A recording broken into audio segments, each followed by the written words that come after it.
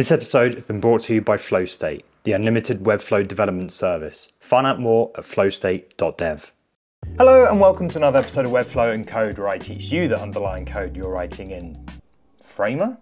Today, we're going to be looking at code components and specifically how to use CMS values inside of your code components. So we have a rating system here where the user can upload a rating to the CMS. We'll use that number from the CMS and generate a number of stars inside of our design. So fairly straightforward. It was something I encountered on my weekly streams as I discovered new tools. Spent two hours with Framer. I'll leave a link to that stream somewhere. And I thought it'd be a good idea to share with you how I went about doing that. So without further ado, here are CMS collection values inside of our code components.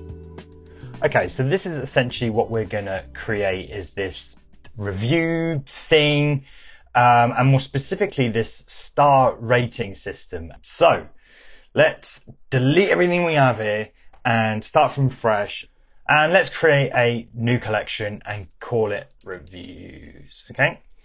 Edit fields and we're happy with this with the the title. We're going to use that as a name.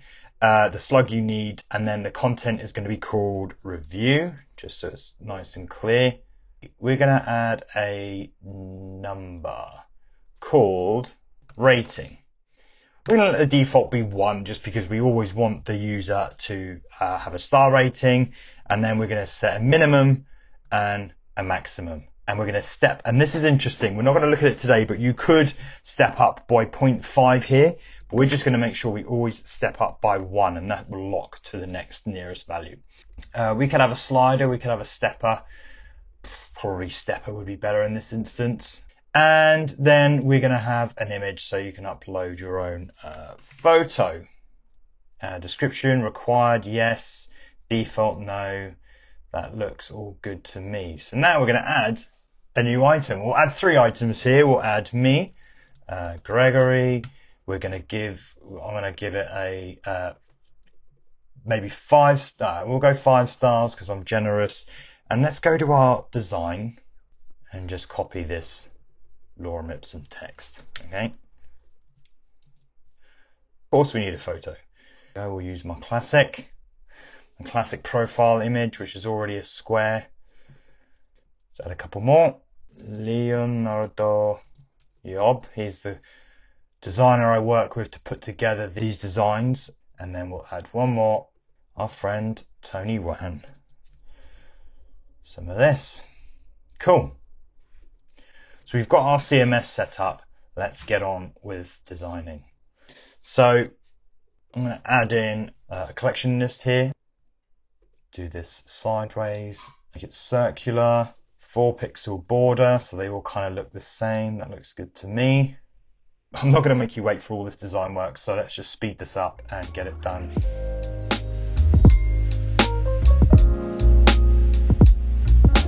Cool, so I've got my designs uh, kind of as I want them. Maybe just spread that out a little bit, no problem.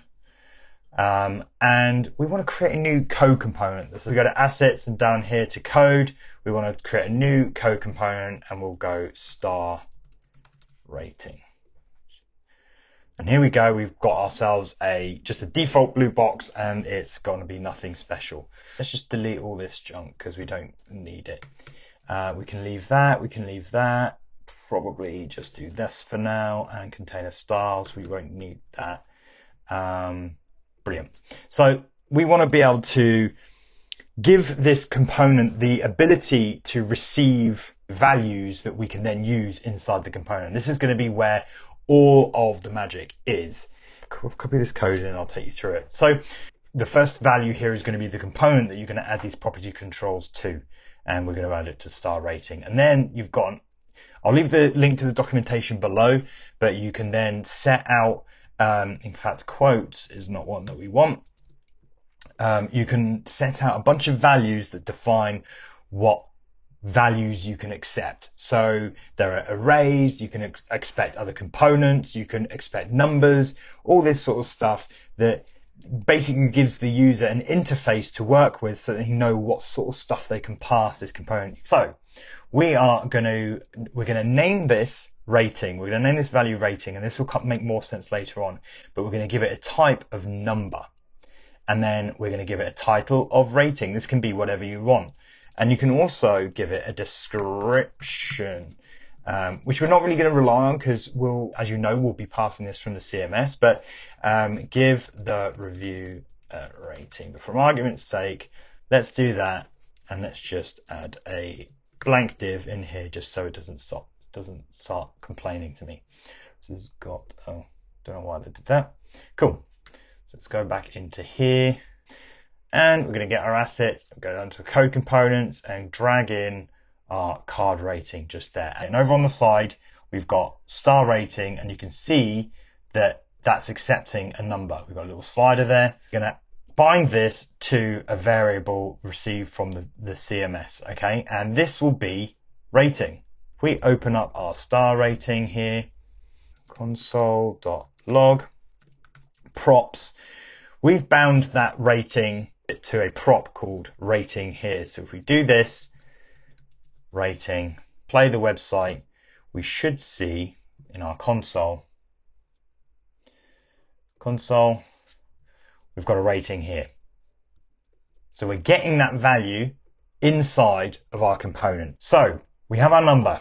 Let's go const rating value and make that there so it makes it sense. Now, from that number, we essentially want to create the, the number of stars that are relative to the, the value that they gave. And the remaining are empty stars. So what I've got here, I've got an SVG, paste this in. We'll do it here just to keep it out of the way.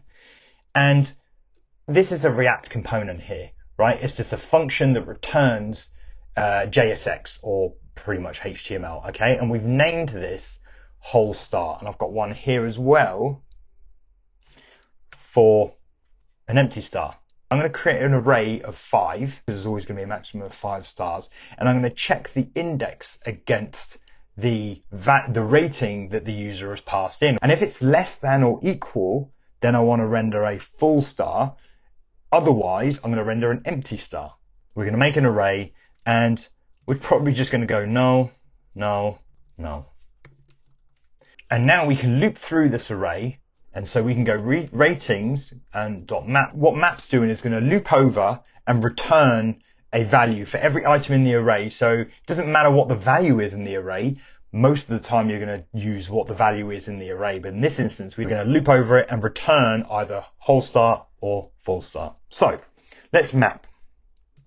And the first item is going to be, well, the first item is going to be null. So we will, um, let's just do unused. Okay. And then the second argument is really where the magic is going to happen. And that's going to be the index.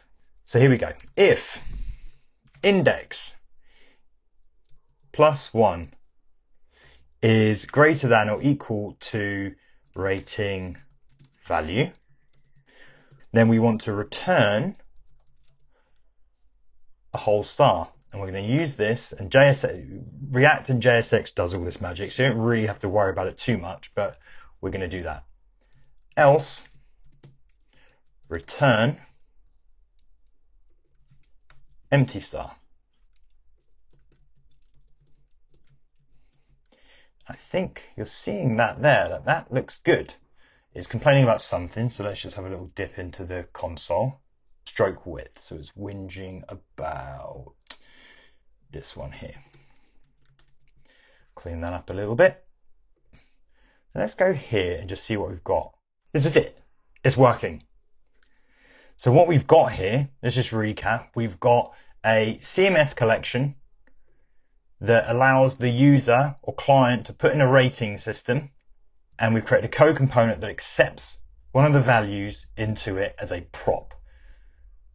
Go into the code here, scroll down here, we've got access to props here, and we've given a property control with a name of rating, and so we can access that rating as a value inside a code component. Let's just clean that up. And we're looping over each item in this array. You could just as easily just do this. Doesn't really need to have its own thing. And we're using the index to check whether index plus one, because remember indexes always start at zero, and checking that the value of that is less than or equal to the prop start rating. If it is, then we return a four star. Otherwise, we're going to return empty star. So I hope that was helpful. Like, subscribe if you haven't already, and until next time, happy no coding.